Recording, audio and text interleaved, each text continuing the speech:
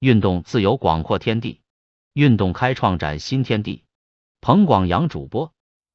球队中曲，他签离去。美国职棒大联盟 MLB 美国联会西区小组的奥克兰运动家队，在最后一轮和加州奥克兰沙加缅度市政府协商无效之后，四月四日宣布，在完成这个例行赛季之后，球队将要先借到沙加缅度，再迁移到内华达州拉斯维加斯。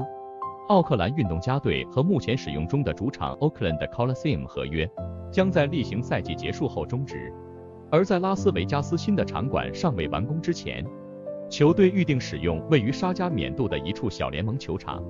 运动家队是于1968年由堪萨斯城搬迁到北加州旧金山东湾地区，并且计划在2028年启用拉斯维加斯崭新场馆。过去一年来，运动家队的球迷对于球队他签纷纷表示愤怒、失望、沮丧和抗议。三月二十八日晚间。运动家队在奥克兰球场迎战克利夫兰守护者队，数以千计的球迷在赛前就在场馆前面举牌示威。球赛开始之后，他们也拒绝入场欣赏。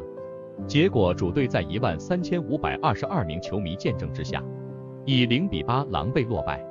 运动家队在二零二二年例行赛季的战绩为六十胜一百零二败，二零二三年例行赛季的战绩是五十胜一百一十二败。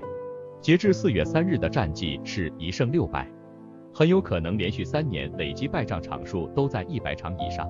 运动家队在二零一八和二零一九年球季，还曾经有过连续两季战绩都是九十七胜六十五败的成绩。